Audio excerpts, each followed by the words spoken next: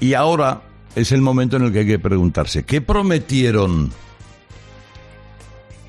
el PSOE y Podemos cuando estaban en la oposición y les comía el ansia viva porque la luz había subido un 4% con Rajoy, un 4 y no un 44 como ahora?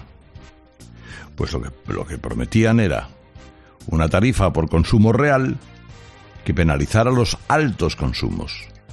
¿Y qué han perpetrado una vez en el gobierno?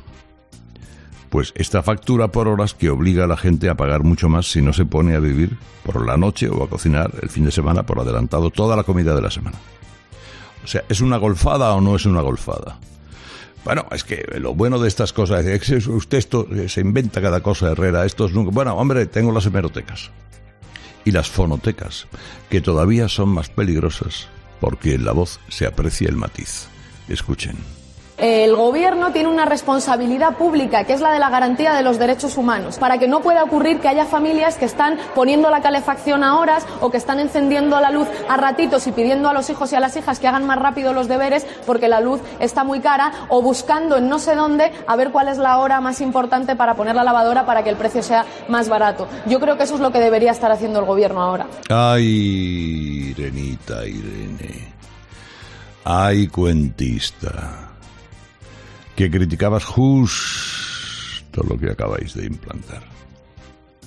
Y lo callada que estás ahora, la verdad es que no, no te he oído hablar. Estabais indignadísimos, lo ibas a arreglar todo rapidísimamente en cuanto llegarais a la Moncloa. amiga mía. Aquí las cosas se han disparado por culpa, como lo decía antes, la misión de CO2. Y se ha disparado por culpa de este discurso de ecologismo o muerte. Y los consabidos impuestos. Dice, no, es que vamos a segmentar el mercado para que haya un periodo del día en el que tire más la industria de la demanda y otro para el mercado doméstico y. Mire, esto es un rejonazo para las familias españolas. Clases medias y las más vulnerables.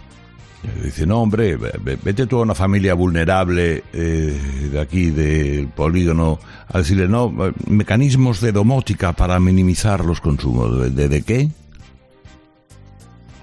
Y todo además en un contexto de teletrabajo en el que la gente ha variado sus hábitos precisamente para consumir más en casa. Pues el gran invento ha sido crear un sistema de discriminación horaria que ya tenían 9 millones de hogares en España.